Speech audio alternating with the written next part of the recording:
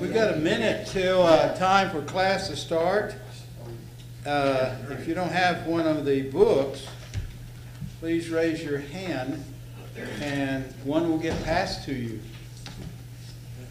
Jean would be so happy to pass you one. We're going to be on page seven in our yellow lesson books, or specifically in the outline I sent out and, uh, and the email last night. It's lesson five in this series of 13 lessons.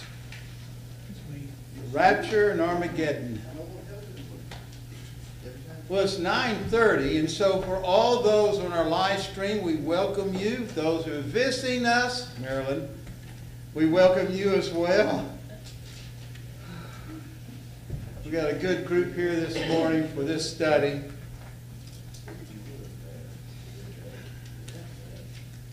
I got a special story to introduce our lesson in a few moments. So, let us begin class with prayer, and so I invite you all to pray with me.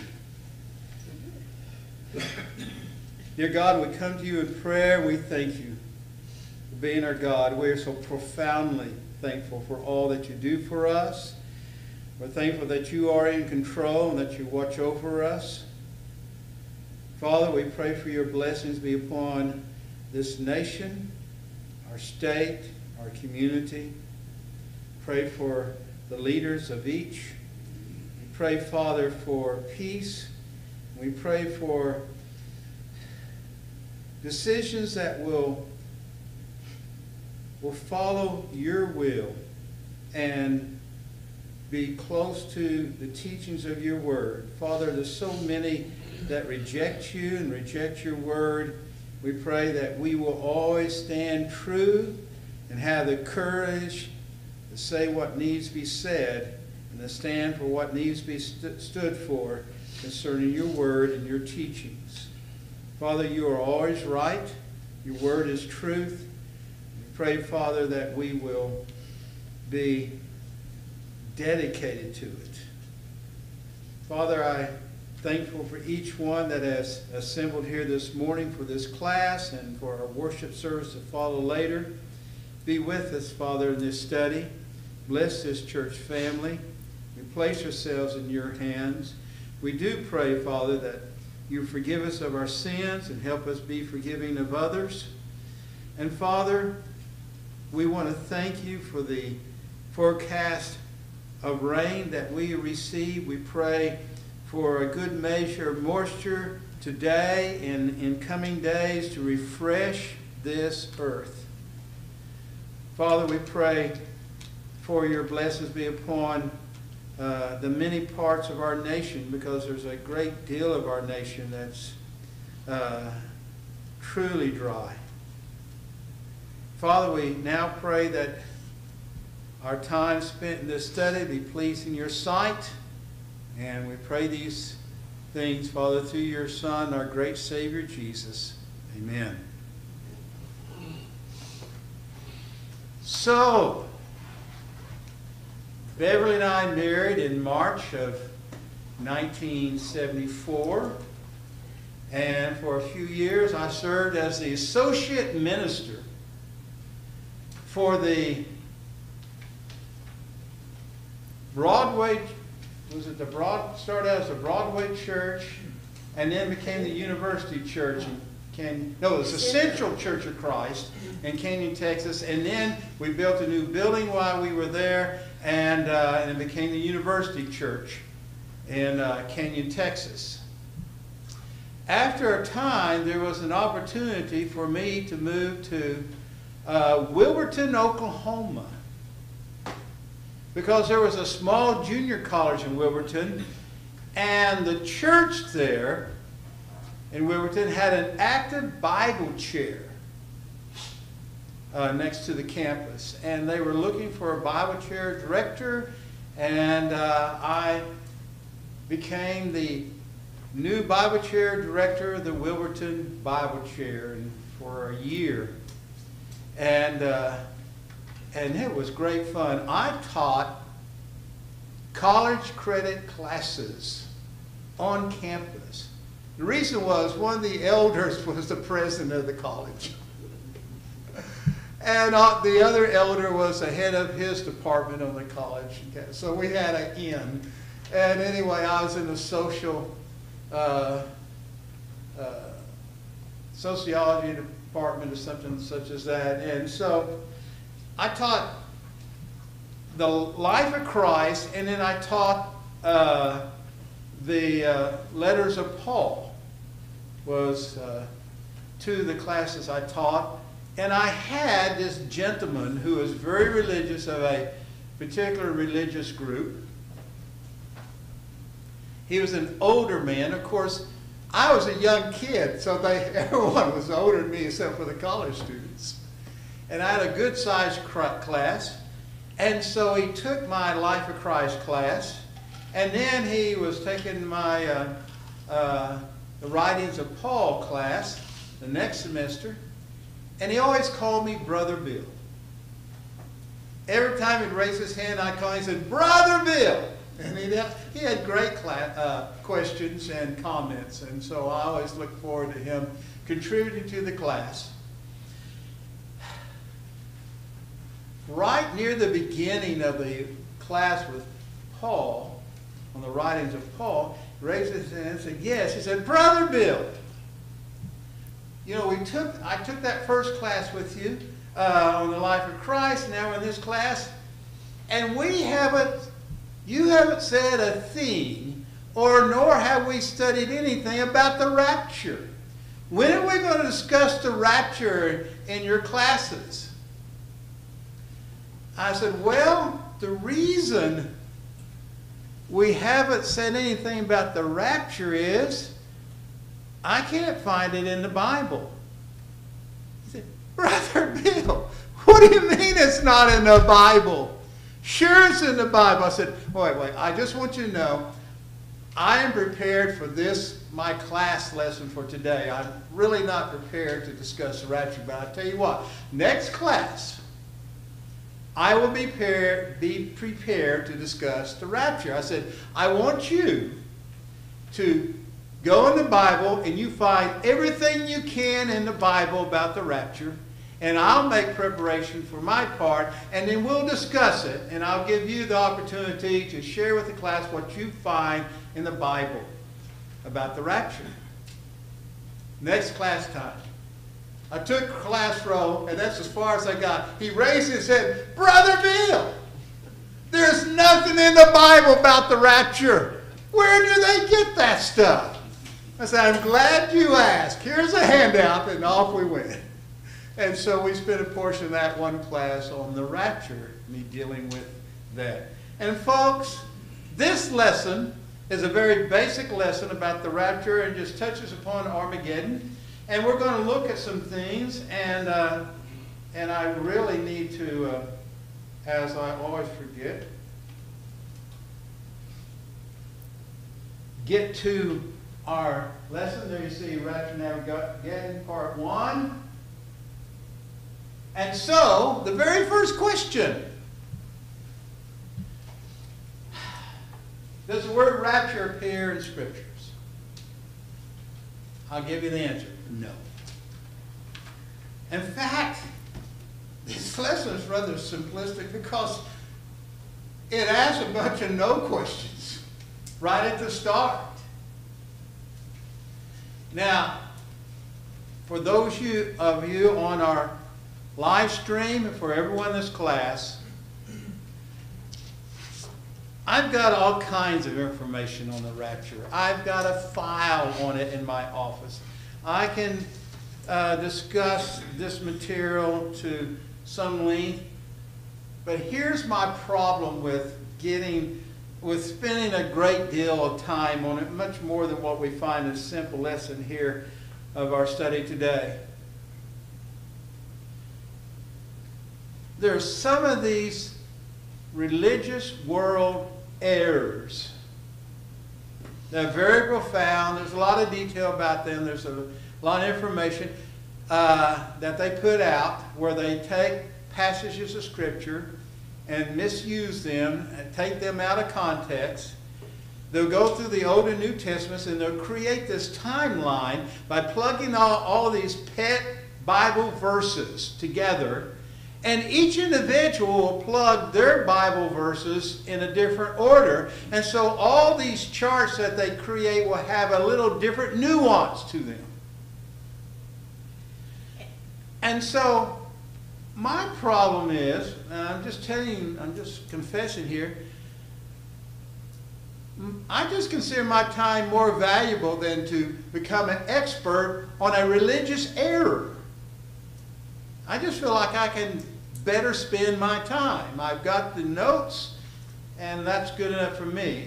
And so, if you want more than what we deal with today and maybe in the next lesson on this subject, I can provide more information for you. So I want you to know I'm not trying to run through this. I'm not trying to short you. It's just there's a certain amount of information out there that I feel is worth our time to look at. Beyond that, it gets real old to me. Uh, emphasizing again and again that verse is out of context, that verse is out of context, and that verse is out of context. So, I thought I would run through this.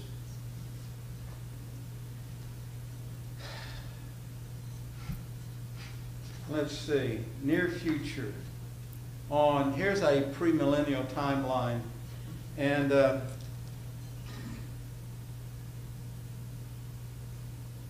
here is a premillennial, and they always have the millennium in there they throw in the Battle of Armageddon. We got the tribulation of the saints. Old Testament believers are raised. And, uh, and then we've got thrown in here the uh, judgments of the world and then eternity finally starting. Tribulation of seven years. The reign of the Antichrist, the 70th week of Daniel 7. And, uh, and so that's Oh, by the way, there's the rapture there. Christ descends, and uh, and uh, he's going to establish his reign. That's one chart. And there's here's another chart. This is we got creation, Mosaic, church age, and then we got the Antichrist, 35 years of great tribulation, 35 years, the secret coming of Christ, and the rapture and uh, then the kingdom age, a thousand years, Christ is reigning there. And then we have the resurrection of the wicked, and then we're going to start eternity. Now, you can't see that, and I understand that, but I just threw that in there because there are some of these charts can really get profound and quite crowded. But I want you to know the rapture is in here, and the tribulation and the thousand year reign, it's all in there. What I thought was interesting was a good brother thought he'd do his own chart. Timeline second coming in the world chronology. And his chart is correct. And in fact, it's quite good. He's got uh, uh, faith and repentance, confession, and baptism down there in this part and he's got the second coming, and boom, the uh, judgment. And anyway, that's a pretty good little chart. You might make a note at www.bible.co. And uh, you might find some other good material there at that Bible website. So there are other charts out there. So with all these charts, uh, some of the things that are in various premillennial timelines is the near future, the invisible second coming of Christ, the rapture and the first resurrection occurs. All true Christians have suddenly vanished from the world, and Christ takes his church to heaven for seven years. And the clock of prophecy starts ticking again. We have Daniel's 70th week begins, a seven-year countdown. The Roman Empire revised as 10 United States of Europe. A Roman dictator uh, signs a peace treaty with Israel. All the nations come under Roman rule. The Jews repossess Jerusalem. The Muslim Dome of the Rock in Jerusalem is removed. The temple is built on that historic site. Israel grows extremely rich. 144,000 are chosen to preach. There's a spiritual rebirth of Israel. Total conversion of all Jews. The world temporarily under Roman peace. Then there's a tribulation. This is the middle of Daniel's 70th week. Uh, three and a half years elapsed. By the way, they love taking the phenomenal, wonderful vision of Daniel and abusing it and misusing it and plugging it in various parts here. Uh, and during the tribulation, the Roman dictator, the Antichrist, proclaims himself God. The Antichrist desecrates the temple. A new and false world religion is established, the Mystery of Babylon. The Antichrist persecutes the Jews. 144,000 become martyrs. There's a great tribulation, extreme wrath, uh, world unrest, and upheaval. The king of the south, that's the Egypt, Africa, and the Arab bloc, attacks Israel. The king of the north, Russia, invades Israel and destroys the king of the south. The king of the west, which is Europe, attacks and destroys the king of the north. The king of the east, which is China, attacks the king of the west with 20, 200 million soldiers. Then you have the millennial. The Battle of Armageddon threatens to annihilate the world. There's a visible second coming of Christ. Remember, the other one was invisible. The uh, church, saints, return with Jesus in an immortal, glorified bodies, and Jesus sets foot on the Mount of Olives. Daniel's 70th week comes to an end. Seven years have elapsed. The Antichrist is destroyed. Tribulation martyrs are raised immortal with glorified bodies. Old Testament saints are raised immortal with glorified bodies. Christ sits on David's throne in Jerusalem. Sheep and goats judgment of Matthew 25 occurs. The good sheep now have possession or positions of authority. The wicked goats are the subject of a rod of iron rule. Uh, the supposed Edenic curse on the ground is lifted. The curse of Babel on language is lifted. It becomes one world tongue. Animals are now at peace and have the gift of simple speech. Satan is bound for a thousand years, the millennial time. Temple worshippers restored, Mosaic laws enforced again, constant pilgrimage to Jerusalem from afar, a millennial of peace and prosperity under Christ. After the millennial ends, Satan is loosed from his prison, nations are deceived, there's a season of rebellion, the battle of Gog and Magog occurs, the resurrection of the wicked, the last judgment. The wicked are cast into hellfire, and new heavens and new earth created. That's just one timeline of one sample.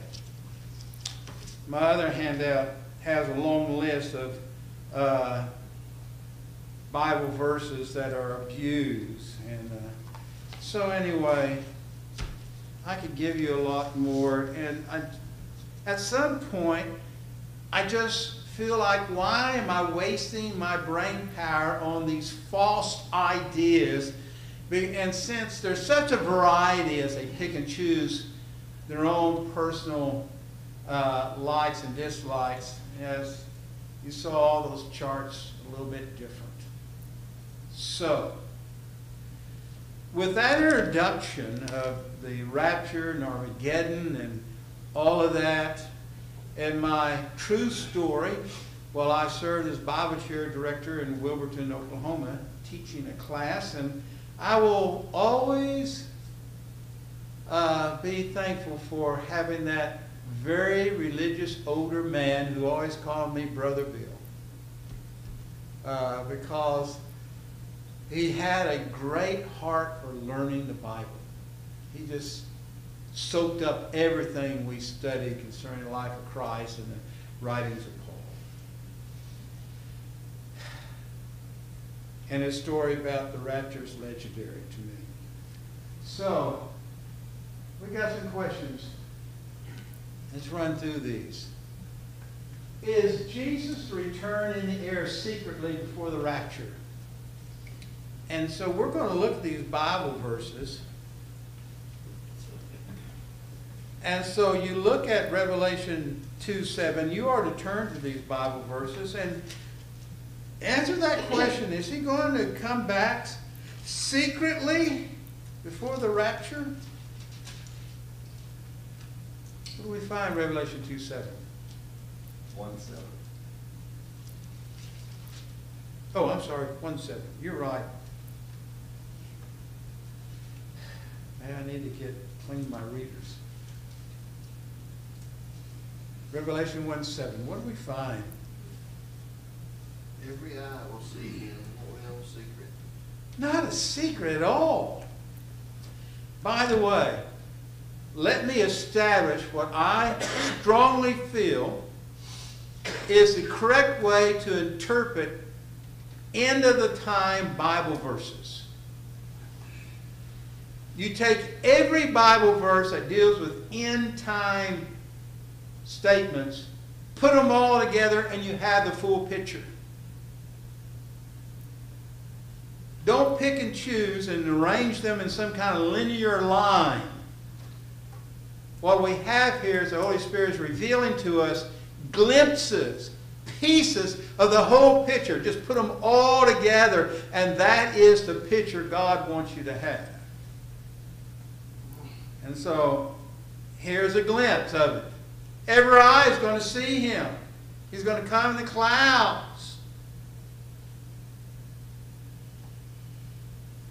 Even those who pierced him, those who crucified him, are going to see him. Next question. Will the church and resurrected saints be caught up for seven years before the evil raised? Oh, by the way, the answer to the other question is no. So now we look at John 5 28 and 29.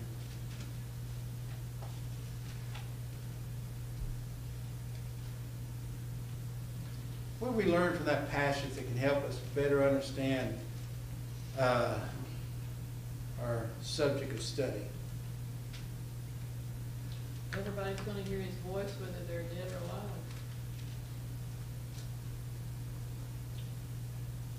So, there's not going to be the resurrected saints at one time and the uh, evil at another time. I don't understand. Uh, again and again, we have the scriptures uh, talk about, as we find here, uh, when they hear his voice, everyone come out, and those who did good deeds to resurrection life, and those who committed bad deeds to resurrection judgment. Sounds just like the end of Matthew chapter 25. All of these pictures about the end time that we are to put together to have this whole picture, they all blend together. They don't conflict with each other. But again, those that want to take an obscure verse in the book of Revelation about a thousand, Christ reigned for a thousand years, and not see it as a figurative verse describing the age that we now live under. They want to make it a literal thousand years in a figurative book that's full of figurative images they enjoy picking and choosing those things they want to make literal. Now, the interesting, interesting thing about the book of Revelation is that there are some literal things in that book, and the book of Revelation will tell you what those things are. For instance, you read about a dragon, and then saying, This is the devil, this is Satan. The dragon is figurative, but Satan is literal. He is real. And that's just one example. But anyway, so you get this uh, tunnel vision. There's going to be a thousand year reign, and then you add to that that and and Christ is going to reign for a thousand years here on this earth, even though there's no Bible verse that states he's ever going to put a toe back on this earth.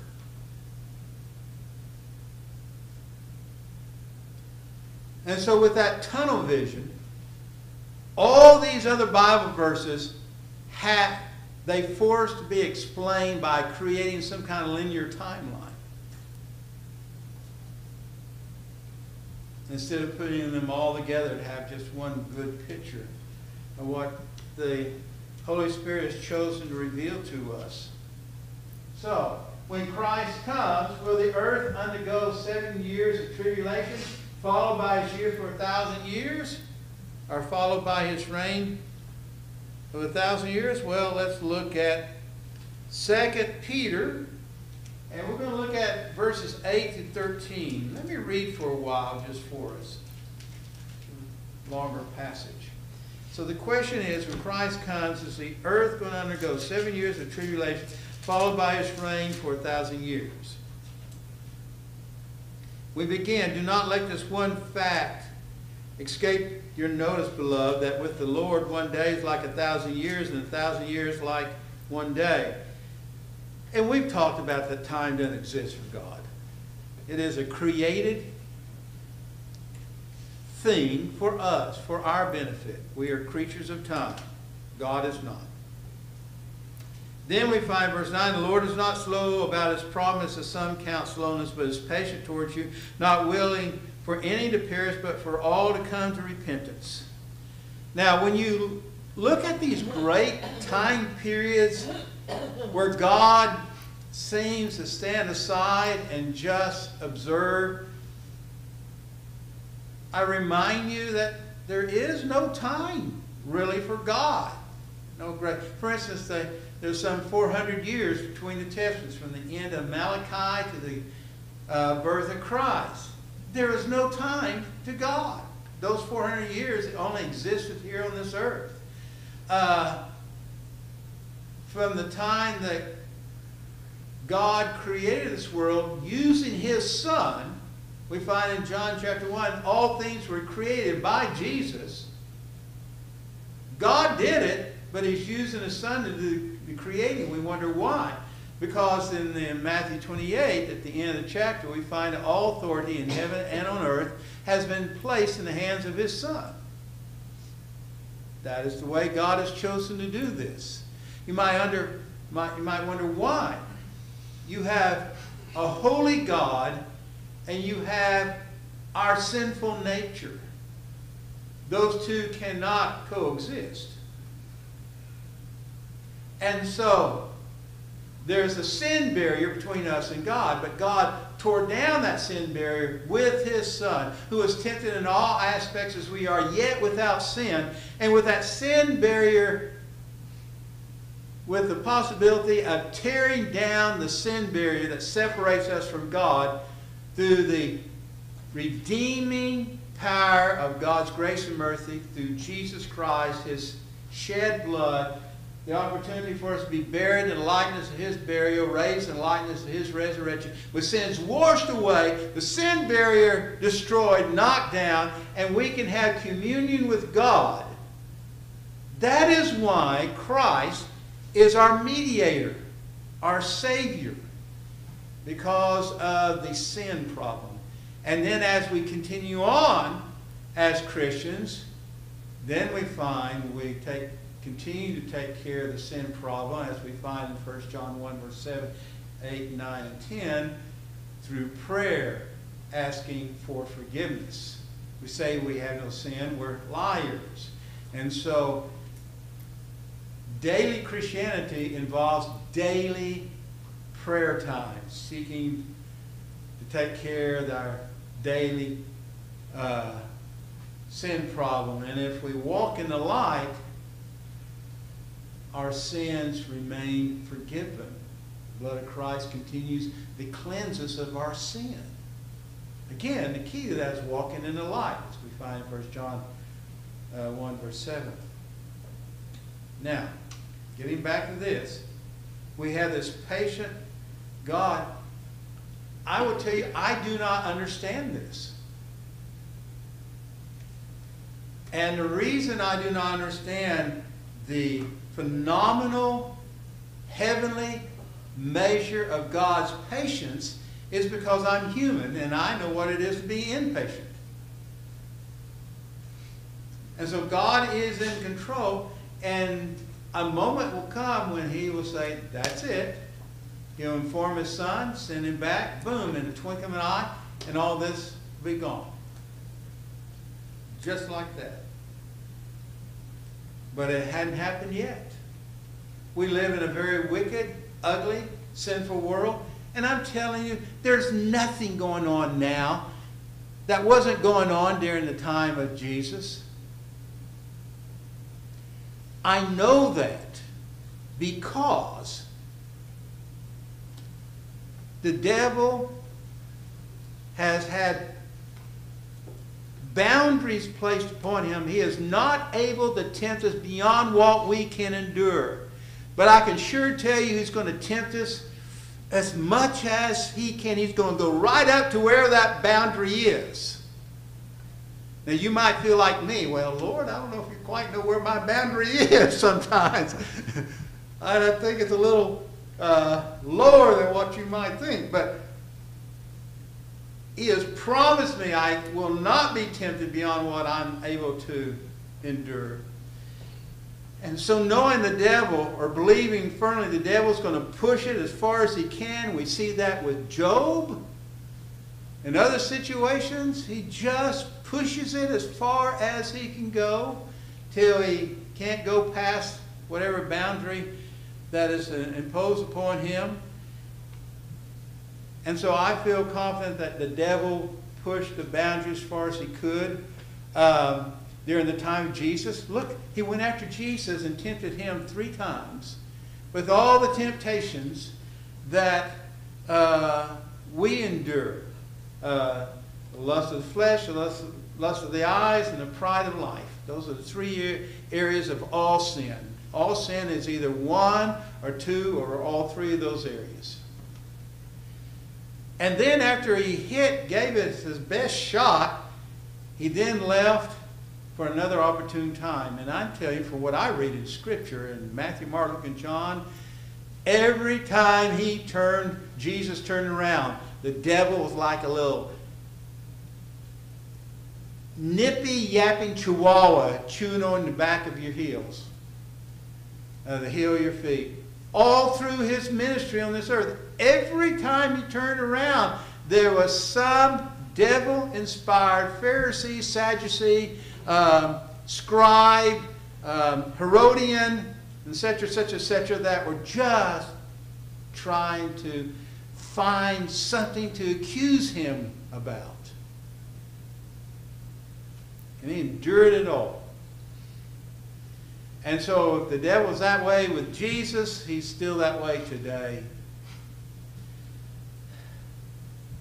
They may not have had an iPhone during the uh, first century, sin might change its form, but it's still sin.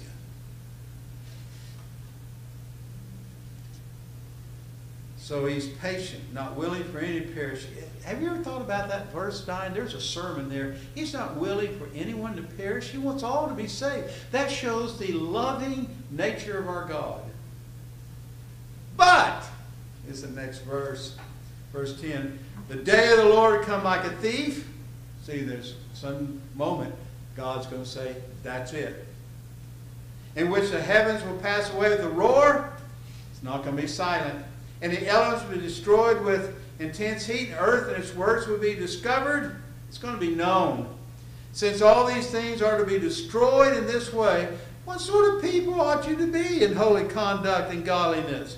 looking for and hastening the coming of the day of God, because of which the heavens will be destroyed by burning and the elements will melt with intense heat. But according to his promise, we're looking for new heavens and a new earth in which righteousness dwells. With all that in mind, again, the question when Jesus comes, is earth going to undergo seven years of tribulation, followed by his reign for a thousand years? No, not according to this text. When God's patience ends, boom, it will all be over with. Again, as Scripture teaches, in the twinkling of an eye, as quick as you can blink an eye, it'll all be over. Then again, when you blink your eye, that's in the arena of time. They could put a camera on your, your eye and they could tell you exactly what portion of a second it takes for your eye to blink. And that portion of a second is still the element of time. When this happens, time's not going to exist.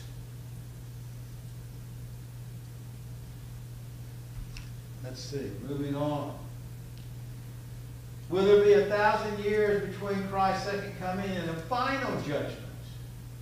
And this time we're going to go to 2 Timothy 1, uh, 4, verse 1. What's your answer to that question based on that text? 2 Timothy 4, verse 1.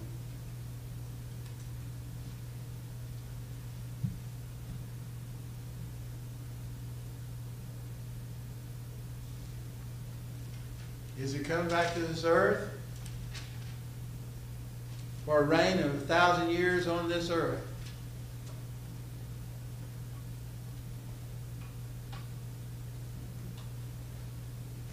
And then do the judging? No. When he comes, it's going to involve the judgment of living and the dead, as we read in, uh, in Matthew chapter 25, the end of the chapter. And all of this is going to happen with his appearing, and he's going to have his kingdom with him because he is reigning in his kingdom right now. It exists on this earth. We are members of that kingdom, but it's also a heavenly kingdom.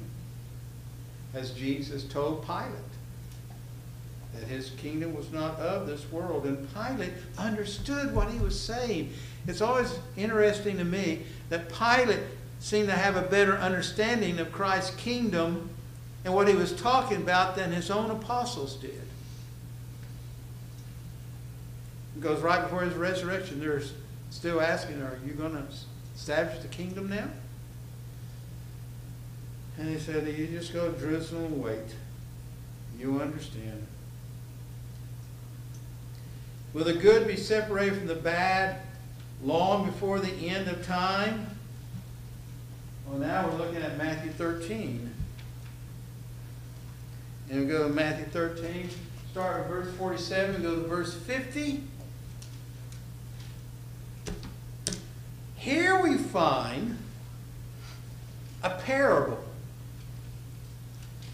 And I've got to confess, I don't preach enough on these phenomenal, wonderful parables of Jesus. This one reads this way Again, the kingdom of heaven. Jesus is a master of presenting kingdom parables. And here in Matthew 13, there's a parable of the pearl of great price, a parable of the hidden treasure, the parable of the weeds, uh, the parable of the uh, mustard seed and leaven, and a parable of the sower. Just good, good stuff in this wonderful chapter of parables. But anyway, the parable of the net. The kingdom of heaven is like, and you, we are in that kingdom, like a dragnet that was cast into the sea and gathered fish of every kind. I viewed some of these pictures of uh, these fishing boats and their nets and stuff, and uh, there's a lot of laws that govern nets on fishing boats. There's got to be an escape hatch for certain uh, aquatic animals like porpoises and dolphins that they can escape through a hole or something in the top of the net because they're smart enough to do that, while the other uh, swarm of the fish uh, are caught in the net. And then they bring that net out and they dump it on top of the boat. And immediately they're going through the fish, separating what they are fishing for and casting the rest out. They don't want any squid or octopuses or Anything else they might grab a hold of, there's certain kind of fish that they certainly don't want.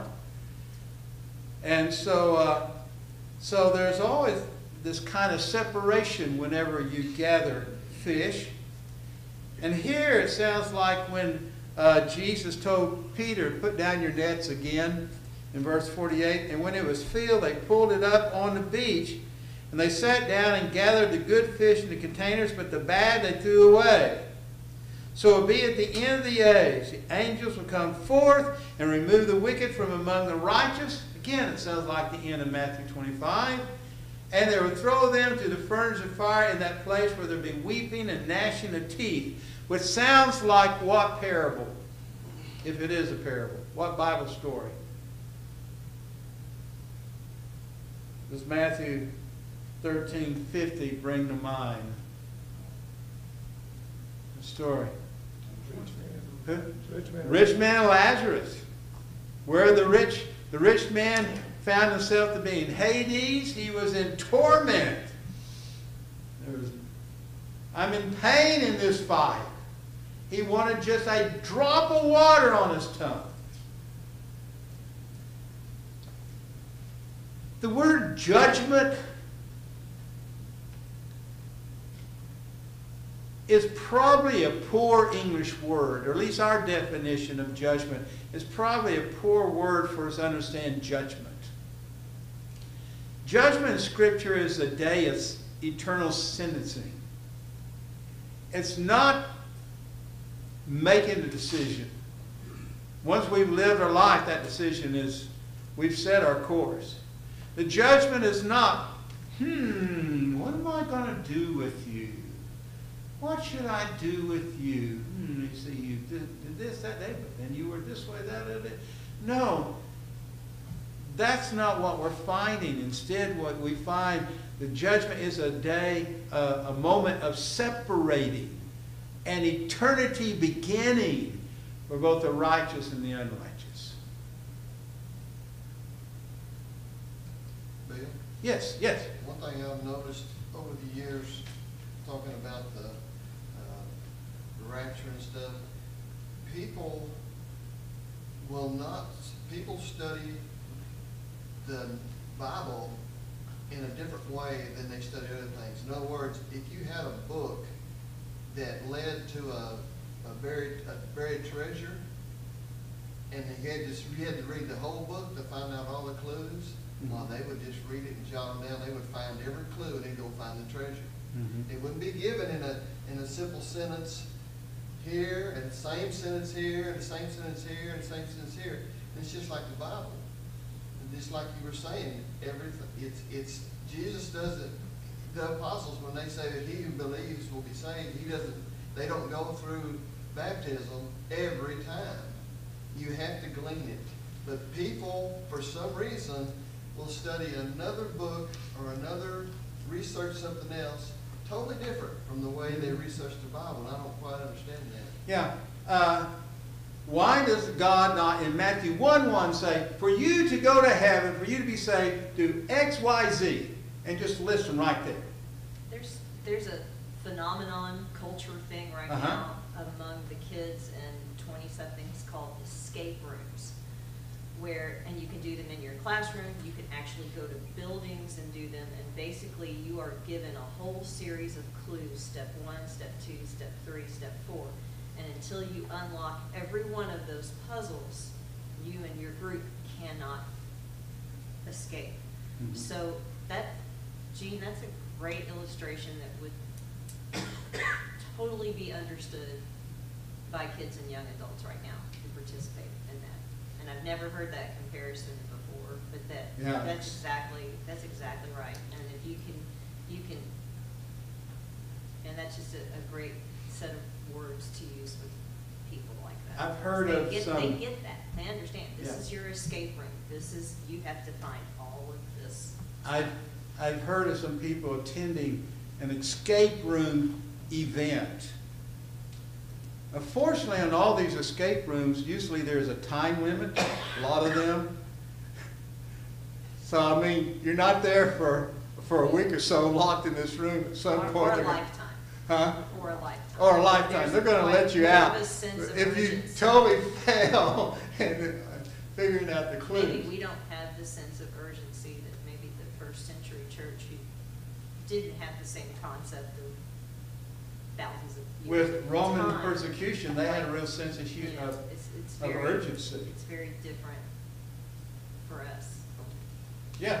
Brother Bill, I've got a question for you. Okay, Since our time is about. go right ahead, Brother Center, Brother Gene. Should we lead songs that have the rapture word in them? A lot of our songs in our songbooks say rapture in them. Should we lead those songs? The word rapture, there's nothing wrong with the word rapture. It just means an, a, a, a great excitement. And so the word rapture used in those songs are not talking about this false religious world concept of a rapture. And so you, you read those songs very closely, and it's just using the word rapture as a great moment of excitement and, and reward. Now, that's my understanding, just thinking of a few songs that had the word rapture. Not, the songs I, I, I know of are not talking about this denominational view of a rapture. So, anyway, again, will the good be separated from the bad long for the end time? No. All right. We got another no question, but I'm out of time. And so we've made good progress, and so maybe we can even finish the second half of this lesson this next week. And so with those of you on our live stream, we thank you for being with us. And I hope you'll join us next week, and we will continue at this spot, uh, working on this good lesson, and I appreciate so very much everyone's comments. And again, if you're wanting more information, I can fulfill your wish. And so see me uh, after services or contact me if you're on a live stream, and I will provide additional information about the world's teachings concerning the rapture and Armageddon and its their false teachings. And so we're going to end this live stream. And those of you in our live stream, please join right back.